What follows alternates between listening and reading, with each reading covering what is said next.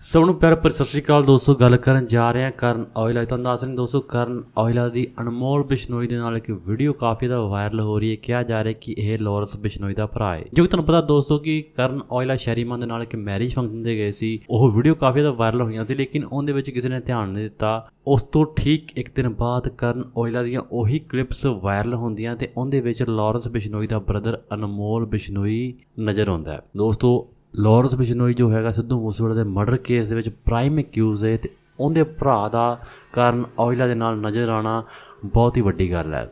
ਲੇਕਿਨ ਇਹਦੇ ਉੱਪਰ ਦੋਸਤੋ, ਕਾਰਨ ਔਜਲਾ ਨੇ ਕਲੈਰੀਫਾਈ ਕਰਤਾ, ਪੂਰਾ ਸੱਚ ਦੱਸਦਾ ਕਿ ਉਹ ਸਿਰਫ ਇੱਕ ਮੈਰਿਜ ਫੰਕਸ਼ਨ ਸੀ, ਜਿੱਥੇ ਉਹਨਾਂ ਨੂੰ ਪਰਫਾਰਮ ਕਰਨ ਲਈ ਬੁਲਾਇਆ ਗਿਆ ਸੀ। ਯਾਨੀ ਕਿ ਕੋਈ ਇਨਵੀਟੇਸ਼ਨ ਨਹੀਂ ਸੀ, ਸਿਰਫ ਪਰਫਾਰਮੈਂਸ ਦੇ ਬੇਸ ਤੇ ਇੱਕ ਆਰਟਿਸਟ ਨੂੰ ਜਿਵੇਂ ਫੰਕਸ਼ਨਾਂ ਉੱਪਰ ਇਨਵਾਈਟ ਕੀਤਾ ਜਾਂਦਾ ਹੈ, ਪੈਸੇ ਦੇ ਕੇ, ਉਵੇਂ ਹੀ ਕਰਨ ਔਜਲਾ ਸ਼ੈਰੀਮਾਨ ਦੋਨੋਂ ਉੱਥੇ ਗਏ ਸੀ। ਉਹਨਾਂ ਦਾ ਕੋਈ ਵੀ ਲੈਣਾ ਦੇਣਾ ਹੋਰ ਨਹੀਂ ਹੈਗਾ। ਜੀ ਹਾਂ ਦੋਸਤੋ, ਕਰਨ ਔਜਲਾ ਨੇ ਗੱਲ ਕਲੀਅਰ ਕਰਤੀ ਕਿ ਹੁਣ ਇਸ ਫੰਕਸ਼ਨ ਦੇ ਵਿੱਚ ਕੌਣ ਆਂਦਾ ਤੇ ਕੌਣ ਨਹੀਂ, ਇਹਦੇ ਬਾਰੇ ਸਾਨੂੰ ਜਾਣਕਾਰੀ ਨਹੀਂ ਹੁੰਦੀ। ਨਾਲ ਹੀ ਕਰਨ ਔਜਲਾ ਇਹ ਵੀ ਕਹਿੰਦੇ ਆ ਕਿ ਜੇਕਰ ਉਹਨਾਂ ਨੂੰ ਪਤਾ ਹੁੰਦਾ ਕਿ ਇਹ ਪਰਸਨ ਉੱਥੇ ਪਹੁੰਚਣਗੇ, ਤਾਂ ਉਹਨਾਂ ਨੇ ਫੰਕਸ਼ਨ ਅਟੈਂਡ ਹੀ ਨਹੀਂ ਕਰਨਾ ਸੀ। ਇਹ ਕਲੈਰੀਫਿਕੇਸ਼ਨ ਦਿੱਤੀ ਗਈ ਹੈ ਕਰਨ ਔਜਲਾ ਦੇ ਵੱਲੋਂ। ਤੁਹਾਨੂੰ ਪਤਾ ਹੋਵੇਗਾ ਦੋਸਤੋ, ਜਦੋਂ ਕੋਈ ਆਰਟਿਸਟ ਕੋਈ ਫੰਕਸ਼ਨ ਅਟੈਂਡ ਕਰਦਾ, ਉੱਥੇ ਫੋਟੋਆਂ ਵਗੈਰਾ ਵੀਡੀਓਜ਼ ਵਗੈਰਾ ਬਣਦੀਆਂ ਹੀ ਨੇ, ਇਹ ਸਭ ਨੂੰ ਪਤਾ ਹੁੰਦਾ ਹੈ। ਤੇ ਕੋਈ ਵੀ ਆਪਣਾ ਨਾਮ ਬਦਨਾਮ ਕਰਨ ਵਾਸਤੇ ਐਵੇਂ ਨਹੀਂ ਕਰੇਗਾ।